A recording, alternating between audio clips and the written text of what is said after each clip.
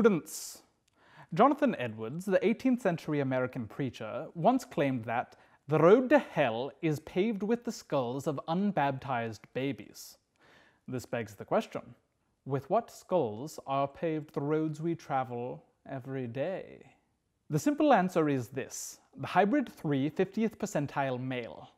This is the inhuman moniker used in the automobile testing industry to refer to the expensive mannequins which are subjected to a broad array of tortures in order to ensure public safety on the highways and byways of the quote unquote developed world. By what means does the 50th percentile male ensure the protection of motorists? Surely it's a rational method of scientific inquiry. Surely.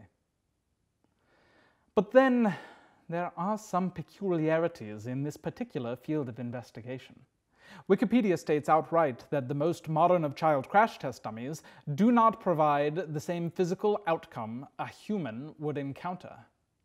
The entire cycle of fine tuning these instruments is suspicious. Crash test dummies and their related medical mannequins have gone through many major iterations over the years, evolving through Sierra Sam, the VIP 50, Sierra Stan, the Hybrid 1, 2, and 3, the BioRid, SID, Wiaman, and most recently, Fagoa, CRABI, and Thor. Every generation promises better results, but the ultimate process of creation is deeply flawed. The dummy is built, data obtained, and safety designs deployed. But that data is then disproven by real world results, and a new dummy is designed to more closely fit the real world data. Did you catch the trick there? The dummy is marketed as predictive, but is in fact responsive. The useful data come from real world crash analyses and not from lab controlled crash tests. Moreover, certain testing procedures have extremely little to do with their purported purpose. For example, dummies are frequently decapitated and their heads subjected to dropping. This supposed calibration correlates to nothing about real life crashes. The velocities are completely unrealistic for automobiles. It is merely grotesque spectacle. Nor was this the first or most grotesque spectacle in the development of the highway safety protocols. As recently as 1989, human corpses were being strapped into cars which were then rocketed toward each other, and the results then analyzed. Unsurprisingly, the diagnosis was the same in each case dead. And it's not only corpses. Live chimpanzees, pigs, and bears were sacrificed in the name of science. Or was it some other name?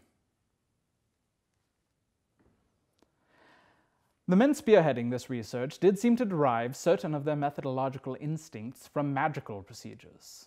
The grandfather of this discipline insisted on subjecting himself to the self inflicted harms that were otherwise reserved for animals and non living persons.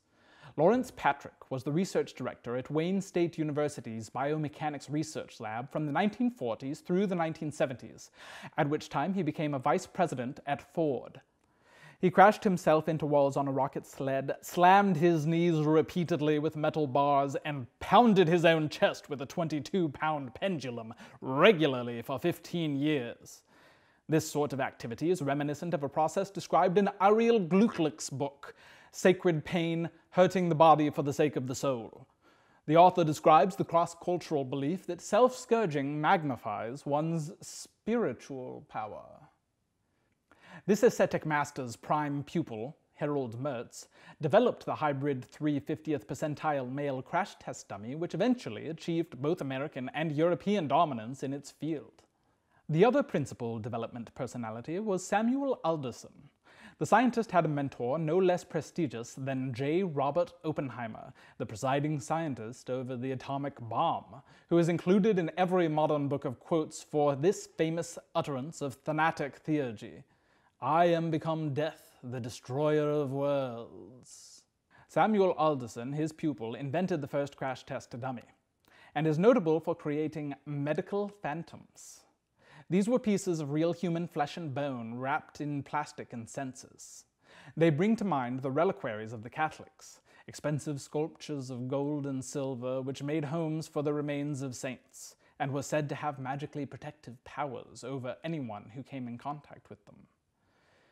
This link between medical phantoms and reliquaries suggests another interesting point. While in the Middle Ages the most costly things were artisan forged precious metals and stones, in this new millennium it is machine etched silicone and weirdly formulated plastics. A fully instrumentated Hybrid 3 50th percentile male costs well over $100,000.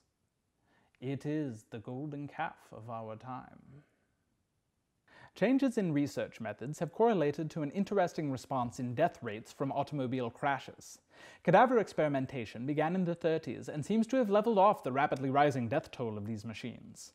The transition to predominantly live animals in the 50s doesn't seem to have much of an effect one way or the other, beyond keeping the rates stable. It isn't until the 70s and the Hybrid 3 that the death rate really starts declining. It is as though the community were groping toward the most human thing. As they got closer to it, the deaths started declining. So what is it about the Hybrid 3 that makes it more human than corpses and living animals? I believe, my students, it is that it feels. The Hybrid 3 has 58 data channels that record more than 30,000 data points during a tenth of a second crash. This is a likeness not only, like a statue, of human bone and skin, but of a human nervous system. This similarity, of course, is not valuable in testing. It does not proactively respond like a human with a functioning two-way nervous system would. It is a technology that models the behavior of a completely paralyzed but perfectly sensing human person undergoing sudden catastrophic trauma. It is a step up from Lawrence Patrick's voluntary submission to the scourging. He, after all, would draw the line somewhere. So why go through the decades-long project costing billions of dollars of creating an army of extremely precious feeling mannequins if, as we laid out earlier, the scientific process of using these instruments is a self-circular fraud? It seems to be an essentially magical solution. But to what magical problem? In my next video, I'll answer some of these questions by examining the peculiar circumstances around the very first death by automobile in this world. Until next time, may the Pyramid's eye watch over us all.